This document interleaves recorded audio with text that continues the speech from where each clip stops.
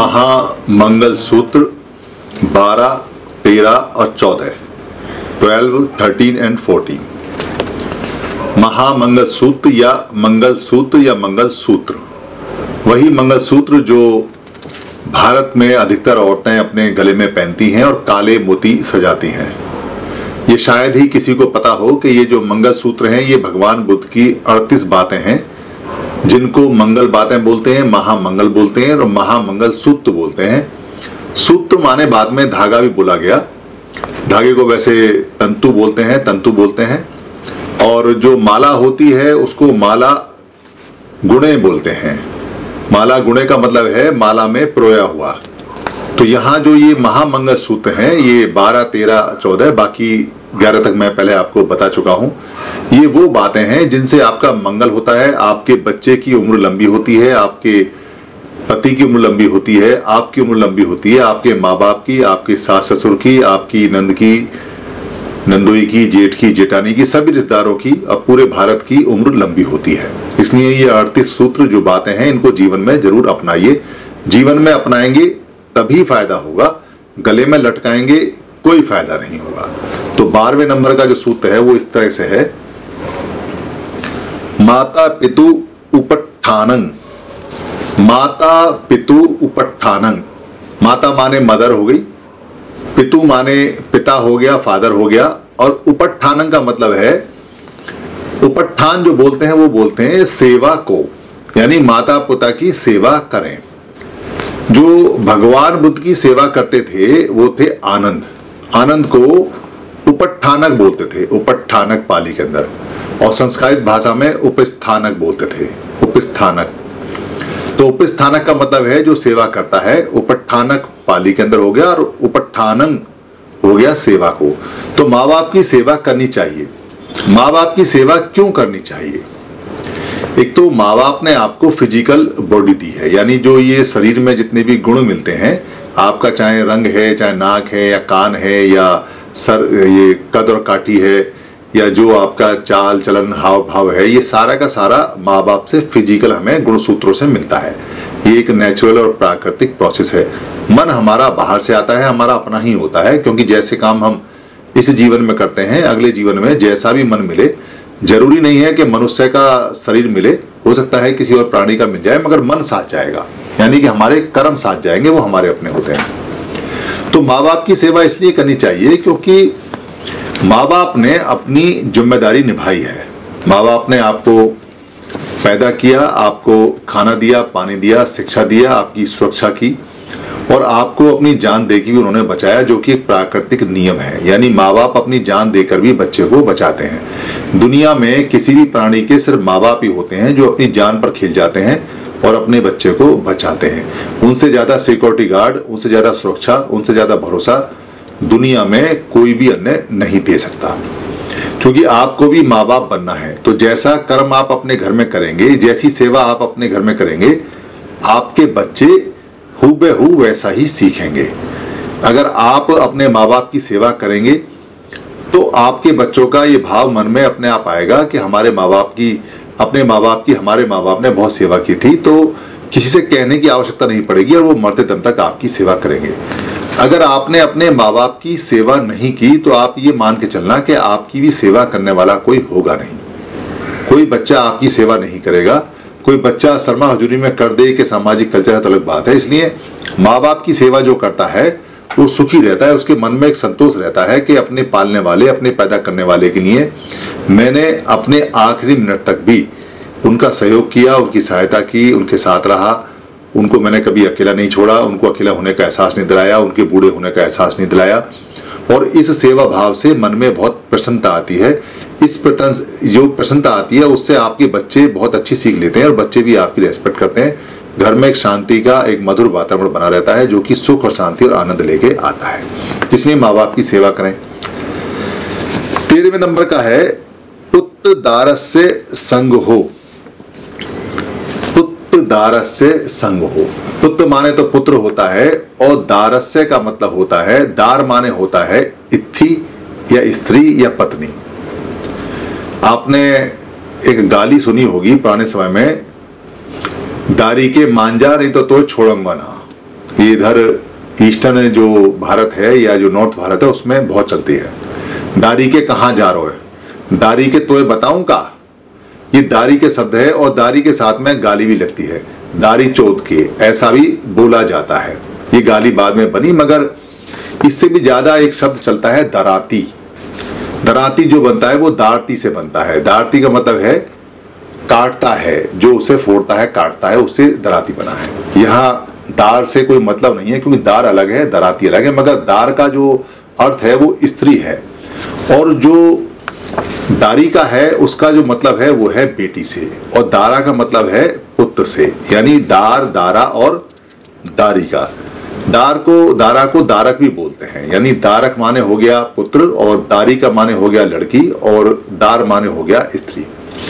एक आपने देखा होगा कि गौतम बद्ध का एक, गौतम बद्ध एक उस, उत्सव आता है, जो ठीक धम्म दिवाली के बाद में आता है, जिसको गोवर्धन बोलते हैं, यानी गौतम के धम्म वर्धन उसमें एक, नीचे एक आकृति बनाई जाती है, जो ऐसा लगता है जैसे किसी मनुष्य की आकृति है और उसमें बहुत सारी चीज़, चीज़ें लगती हैं। उसके साथ में एक गाना गाया जाता है, जो लोकगीत है। तेरी तो दारी मारू लोकटी तो नौ मन कजरा रे हरे। ये पूरा अगर लोकगीत आपके पास, किसी के पास है तो आप मुझे भेज दें। अगर आप पूरा लोकगीत भेज देंगे तो मैं इसके बारे में आपको बता दूँगा। तो ये जो लोकगीत आता है, तेरी तो दारी मारू लो कटी ये बहुत फ़ेमस है। बचपन में इसको गाते थे, हमने भी देखा है गाते हुए। हम भी साथ जाया करते थे जब छोटे थे। आज तक भी मैं उसका मतलब ढूंढ रहा हूँ। अगर से अक्षर किसी के पास वो भेज दें तो मैं उसका मतलब पाली में बता दूँगा। ये पाली का लोकगीत है, क्योंकि तो इसमें दार शब्द आता है, दारी का शब्द आता है, और ये पाली के शब्द हैं। तो यहाँ जो दारस्य का मतलब है, दारस्य का मतलब है स्त्री, यानी पुत्र का और दारस्य का। क्या करना है? संगति। संग हो करना है। संग का मतलब अतिथ्य करना है, उनका भरण पोषण करना है, उनका खाना पीने का इंतज़ाम करना है, उनका मान सम्मान करना है। तो संग हो करना है। पुत्र दारस्य संग हो।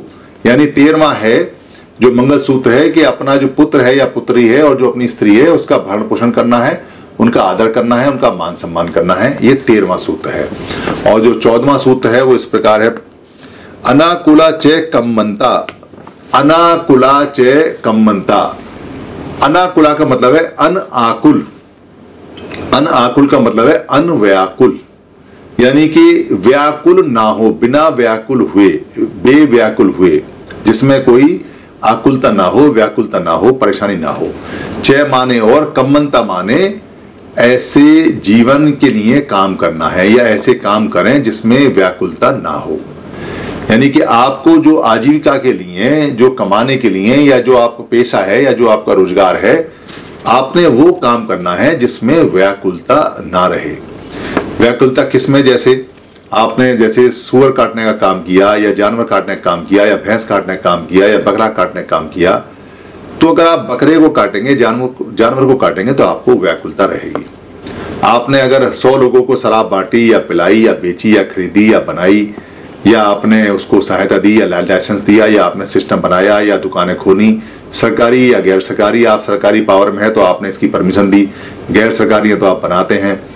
तो शराब बेचने का, रखने का, पिलाने का, उकसाने का, यानी उसके एडवर्टाइजमेंट में जो काम करते हैं लोग, जो उकसाते हैं टीवी में जो काम करते हैं या टीवी में जो कलाकार ग्लास शराब का पैक उठा के गाने गाते हैं या वीडियो में जो गाने गाते हैं, जो शराब का बहुत ज़्यादा गुणगान करते हैं वो सभी लोग जो काम करते हैं, वो बेचैनी वाला है। शराब का प्रचार करके या नशे का प्रचार करके कोई भी आदमी चैन वाला काम नहीं कर सकता।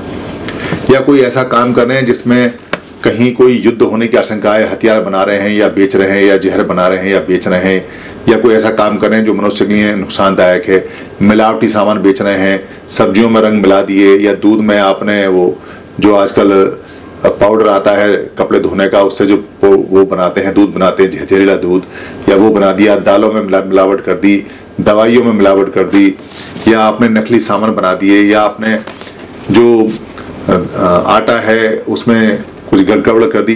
जितने भी काम ऐसे हैं, जो नंबर दो के काम हैं, जिनको करके आप चोरी से करते हैं, पहली बात तो जो कहीं छुप के करते हैं, किसी को बता नहीं सकते, और जो पब्लिक के लिए खराब है वो आपको बेचैनी पैदा करेंगे।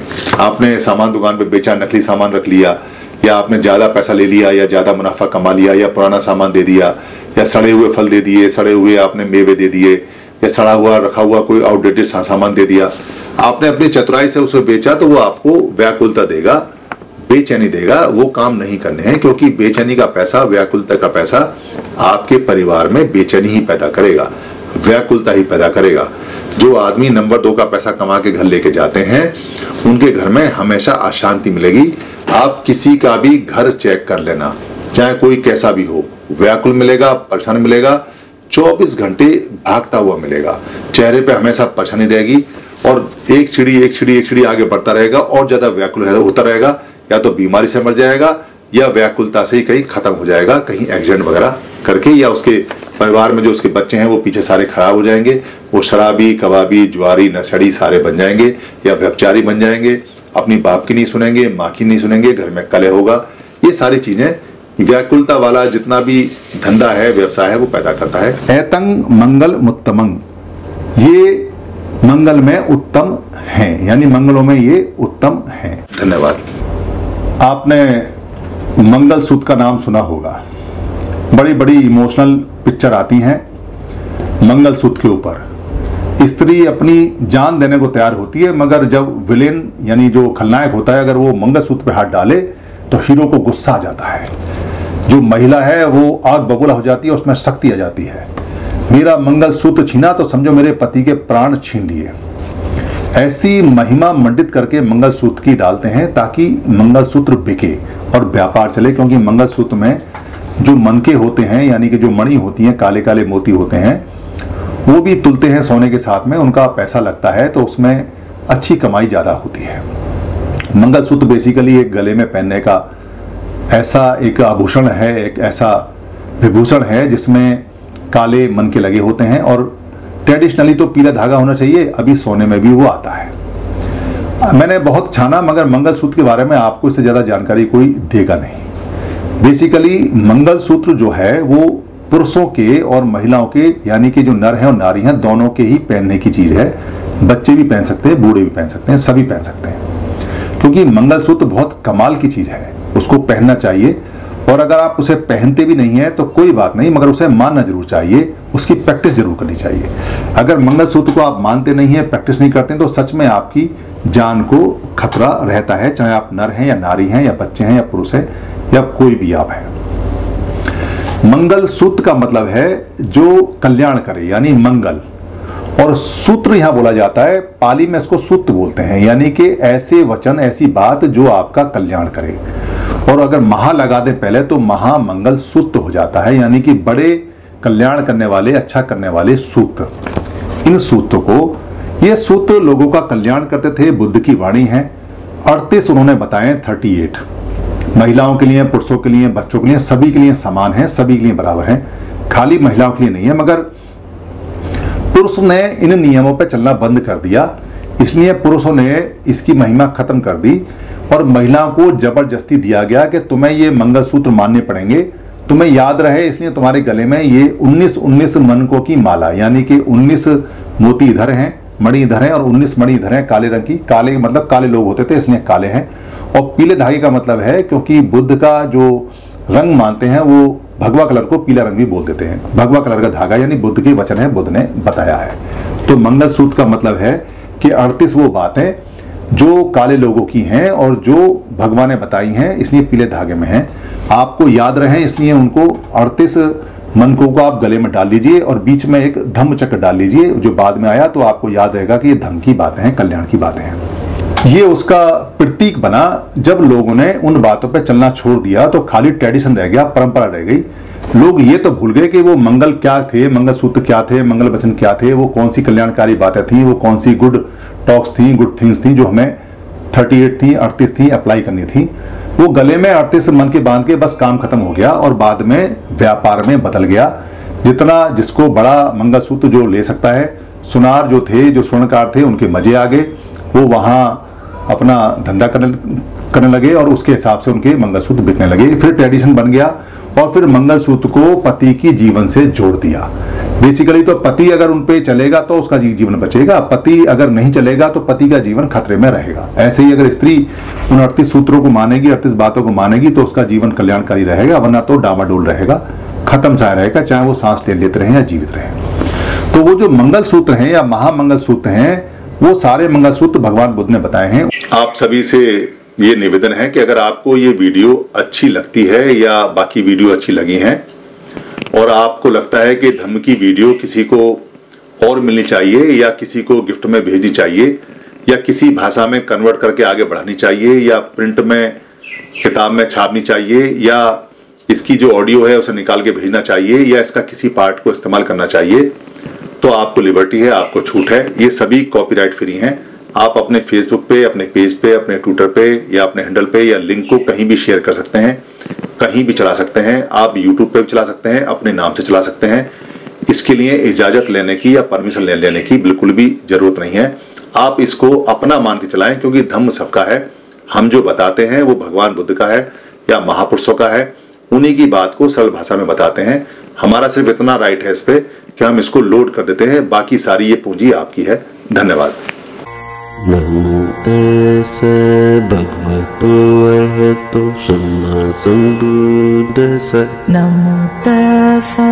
भगवतो अर्हतो समसम्बुद्धस्स नमो तस्स भगवतो अर्हतो समसम्बुद्धस्स